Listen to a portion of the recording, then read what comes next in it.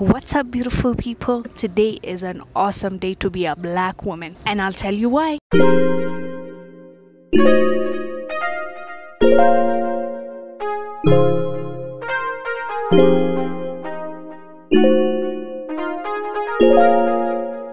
Two things that have happened this week that I am so so proud of the women that accomplished what they did. Number one being Freweini for winning the CNN Hero Award for 2019. Well done, well done, well done. You you deserve it. I'm so proud of you, and we're going to talk about that. And the second one is the winners of the beauty pageants the five black women that won uh, Miss Universe, Miss Miss Universe that is South Africa, Miss World, um, Miss Teen USA, Miss USA, and Miss America. All five of them being black women made history. This never happened. 2019 we did that. So without further ado, let's start. Oh, and don't be distracted with this thing. It's a it's a mic that I'm holding. I'm outside, so I don't want the wind and all the noise to not allow you to hear me well. So that's why I have this like this. okay, it is such an awesome win for all of us. Freweini Mebrahtu won CNN Hero of uh, the Year 2019. She became Hero of the Year because of her work when it comes to period and the stigma behind it and how we all should especially coming from Ethiopia and Africa, um, she has faced firsthand on the negative uh, impact it has on young girls, and um, it it is documented that 50% of uh, students, female students, stop attending schools because of their periods. It will come and then they, whenever that period time comes, they stay at home and then eventually lag from school and then now drop out. So 50% of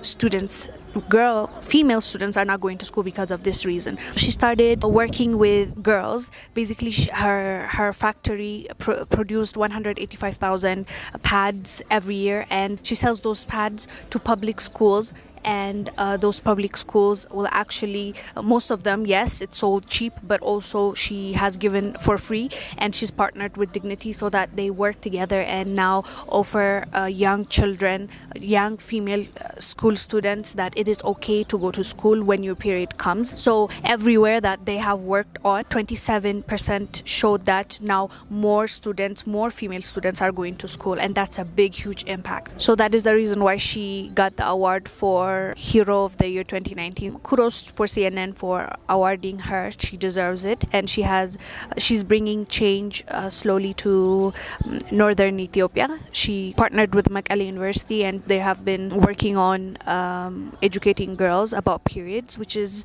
an awesome thing. And I agree, coming from Ethiopia as well, I understand where. Um, they are coming from and why this is very important to her. It has such a bad stigma that even when your period comes, you're ashamed, you're afraid to tell. Personally, uh, we learned in school way before my period came, but then even after learning about it, even hearing about it, I, when it first came, I was horrified. I was crying, and my mom helped me out and told me it's okay, it's normal. Even if I learned about it, even afterwards, that I got all the support from my mom, from my grandma. I still felt ashamed, you know.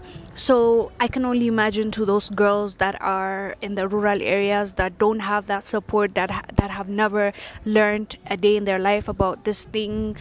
It just comes and they they bleed and they don't know what to do. So I I I, I totally get it. Education is number one. Educate them so that they're not ashamed of it. They're they don't think they're less than. So I love that, and also the fact that this she's helping women girls to still attend school and not find another excuse to not go and their parents to not let them go to school. So that's a big issue um, in rural areas in ethiopia which i'm aware of. Girls should know that this is normal. It is natural you're seeing menstruation cycle because that's an indication of your body telling you that you are ready to conceive, you are fertile, like all those things. I can't stress this enough. Our girls need to know that it is okay. Don't be ashamed. You're a woman and it comes with that, so accept it, embrace it, and love it. So I am happy to report this to you and say congratulations, Freweini, well deserved. The second thing I wanted to talk about now is the beauty pageant. Yes, beauty pageants, okay. let me be really totally honest. Beauty pageants are just that, yeah? It's about a competition between women and their physical, how, how good they look, and blah blah blah. Still, I still do believe that this uh, competition means something. All these years, the winners have have been Caucasian women with the same kind of look, with the straight hair, with the white light skin. Even though it's just a beauty pageant, it has a big impact in the viewers.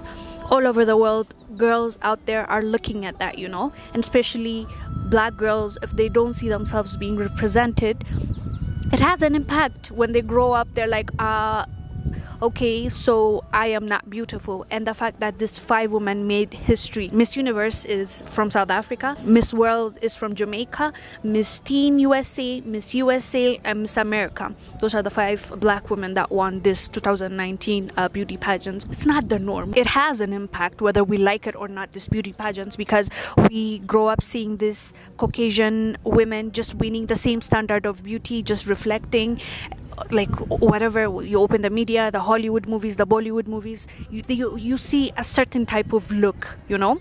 And so you start thinking in the magazines you start thinking um, all these beautiful women that this girl this magazine is praising or this movie is saying oh my god she's so gorgeous and she's not you. She's a blonde haired chick with white fair skin and a certain type of nose or whatever or uh, lips. So you're like um, so where do I fit in? Like, you know, like it or not, it will create a question in your mind. So that is why I am happy that this five women won this year, so that girls that don't look like the norm beauty can see and be like, oh my goodness, I am beautiful. Look at Miss Universe. Miss look at Miss World. So for that reason I am happy am proud. And yes, I do think, I do, I do 100% believe that this will have an impact. You know, it is really important to be represented well. It is really important that these women are representing us, African girls, black American, colored girls, it will give us that confidence, that self esteem. Growing up, you have not developed that full um, capacity. You have not reached that full capacity of your brain is not developed fully. So you're like, you want validation somewhere. You want to see out there that you are pretty enough. This, for me, shows that we are finally on the right path. We are finally acknowledging those around us, we are finally seeing and accepting diversity, which is a, a big deal being an African, obviously. Um, so, yeah, well done to those five women. Well done to you guys. Um, you truly broke barriers and hope that you can use this platform that you got to benefit others, to benefit other African youths coming up thinking that she's not good enough and you actually can give her that reason of no no no no no girl you are good enough and you are beautiful. So we're talking about of course outside. We need to work on on our minds and our hearts and our souls and try to be the better version of ourselves always trying to improve. Um, but for now for me these women they did that. And these are the things that I really wanted to talk about. That is why I started by saying it's a good time to be African. So well done to Freweini, well done, Miss Five of you. and I will see you on the next one. Please let me know that if you think this will have an impact um, on our future generation, and let me know what you think down below on the comment section. If you like this video, please like, subscribe, share this video. I thank you for watching. I'll see you on the next one. Bye.